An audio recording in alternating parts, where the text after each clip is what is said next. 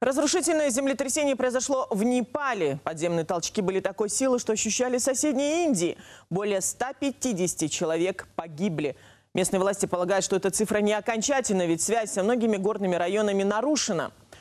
Тем временем реальность угрозы, исходящей от виртуального мира, признана официально. Полтора миллиона нелегальных жителей попросили на выход, а также масштабные проблемы, которые принесла большая вода. В нашем обзоре резонансных событий недели на планете.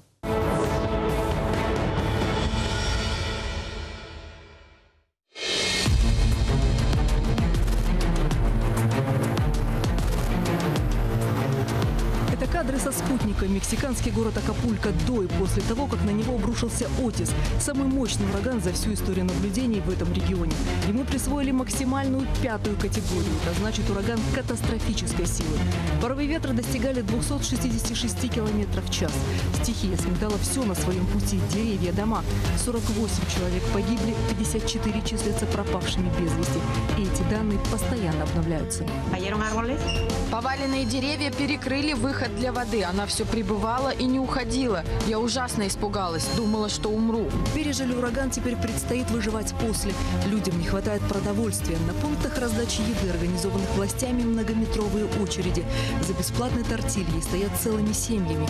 Но еще больше очереди выстраиваются за водой. С пустыми ведрами люди ждут водовоза с 5 утра, чтобы точно хватило. Нам нужна еда и вода. Воду привезли, но посмотрите, сколько нас. Нас так много, ее на всех и не хватает. Бытовая рутина превратилась в настоящую проблему. Умыться, приготовить еду, постирать вещи. Электричества в Акапулько тоже нет. Из-за этого похоронные бюро временно перестали работать.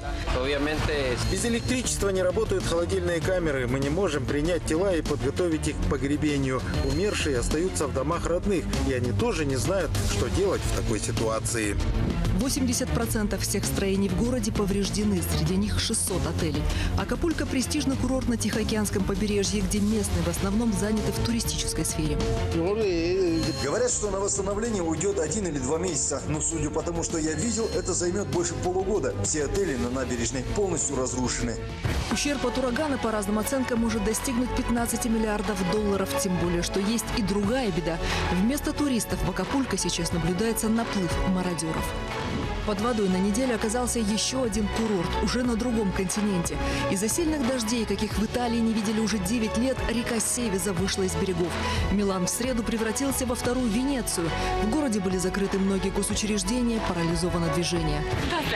Я просидела в автобусе 4 часа. Никто не мог выйти, мы просто ждали. Вода затопила подземные переходы. В некоторых местах ее уровень поднимался на метр.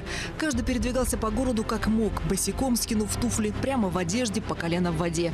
Самые находчивые приспособили мусорные пакеты. О жертвах и пострадавших не сообщалось. Пакистан выдворяет афганцев, не имеющих разрешения на проживание в стране. Таких насчитывается более полутора миллиона человек. При том, что многие нелегалы живут в Пакистане всю жизнь с рождения.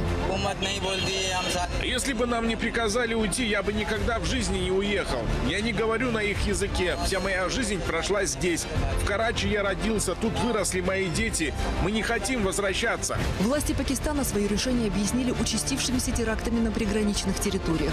В бывших поселениях афганцев на окраине Исламабада еще до объявленного дедлайна начали сносить дома. У меня есть удостоверение личности, но полиция говорит, что оно недействительно. На нем нет печати. И в полиции не хотят мне ставить эту печать. Теперь мой дом разрушен, а я вынужден ехать в Кабул. У меня был свой бизнес в Карачи, я его оставил, продал все, что смог, остальное конфисковано. Вчера меня арестовали полицейские и отпустили только тогда, когда я им заплатил. Людей арестовывают и отпускают за деньги. Ситуация очень сложная. Люди возвращаются на историческую родину, где их никто не ждет. Покинуть Пакистан афганские мигранты должны были до 1 ноября. Теперь их будут задерживать и депортировать как нелегалов. Мы приветствуем добровольное возвращение людей в Афганистан, потому что у тех, кто вернется добровольно, будет меньше проблем по сравнению с теми, кого нам придется выселять силой. Официально Кабул обратился с просьбой к соседям приостановить депортацию. Правозащитники предупреждают, что насильственное выдворение афганцев грозит серьезными нарушениями прав человека. Лондон, Даунинг-стрит 10. У своей резиденции премьер-министр Великобритании встречает вице-президента США. Представители большой политики всерьез заговорили о реальной угрозе глобальной безопасности со стороны виртуальной реальности. В британской столице впервые в истории прошел саммит по вопросам развития искусственного интеллекта. Искусственный интеллект может как принести огромную пользу, так и нанести серьезный вред. Это не только кибератаки, но и создание биологического оружия, что может поставить под угрозу само существование человечества. И это тот случай, когда главные выступающие не политики.